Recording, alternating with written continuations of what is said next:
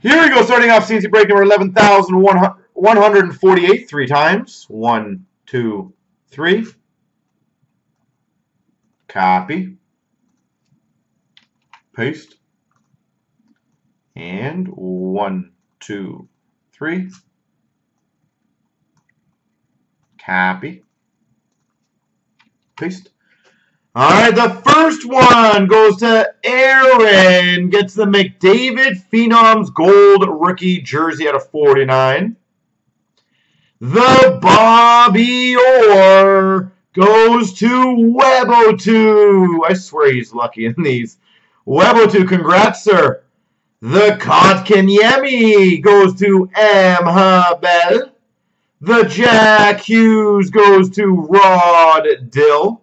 It's all like at the top. And the Sedin Sedin goes to Sniper. Congrats, sir.